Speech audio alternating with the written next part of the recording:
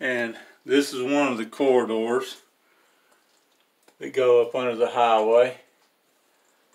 And I'm way too big to get very far in these, but we'll go down this one. Like I said, this goes under Highway 65. And I haven't been in here in a long, long time.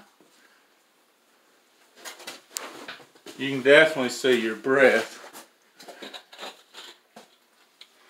It's just a beautiful, what is it? Spiders? No, it's one of those creepy crickets. Cricket. It's a creepy cricket. Anyway, it just keeps getting narrower and narrower, and like I said, I am way too fat to get very far back.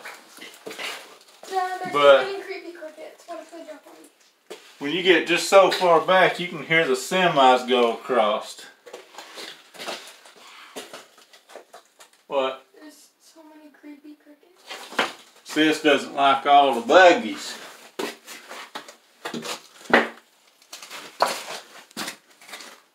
And this is where you can tell it opens on up back there into a big room. But this big boy can't get in there.